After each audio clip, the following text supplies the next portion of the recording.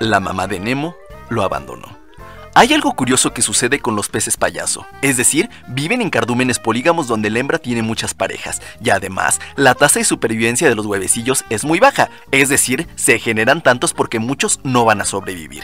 Y en este caso, cuando los huevecillos tienen bajas posibilidades de supervivencia, las hembras abandonan los nidos y priorizan los de otras parejas. Es decir, si este escena hubiera sucedido en la vida real, la mamá Nemo hubiera abandonado el nido para cuidar a los que tenían mejores posibilidades de sobrevivir.